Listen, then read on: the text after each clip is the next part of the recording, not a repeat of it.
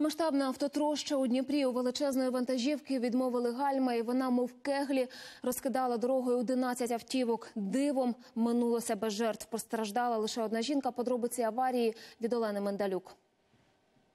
Аварія сталася близько 9 ранку на одному з головних проспектів Дніпра. За словами очевидців, некерований крас із причепом просто летів на автівки, які стояли в заторі. У підсумку 9 легковиків перетворилися на купу металу. Зачепило і два автобуси. Стоял в пробке вот за этим микроавтобусом эталон.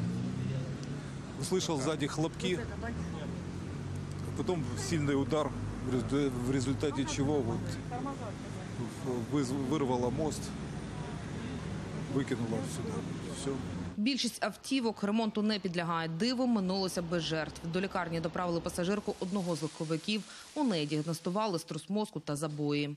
Больная находится на стационарном лечении.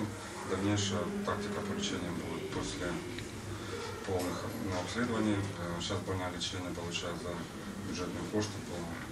Понад три години на місці ДТП працювали надзвичайники. Загроза вибуху була так, як пошкоджено газообладнана апаратура на автомобілі Peugeot 206. І вже перекрили загрози та як такової відсутня. За попередньою інформацією, у Краза відмовили гальма, однак інші водії кажуть, за кілька хвилин до аварії ваговоз уповільнював рух на перехресті. Ехал он нормально, тормоза у него работали, то есть он останавливался. Но после этого услышал гудок, потом удар в зад, меня начало крутить. Еще один удар, еще один удар, ну потом прибило сюда, и он меня поджал. Крас належить комунальному підприємству з ремонту та експлуатації автошляхів. У міськраді пообіцяли збитки водіям компанія відшкодує.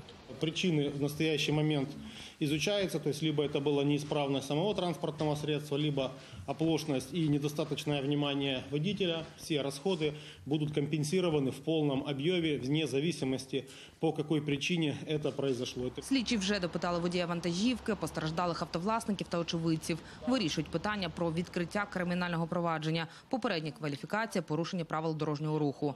Олена Медалюк, Іван Біленко, подробиці телеканал Інтер, Дніпро.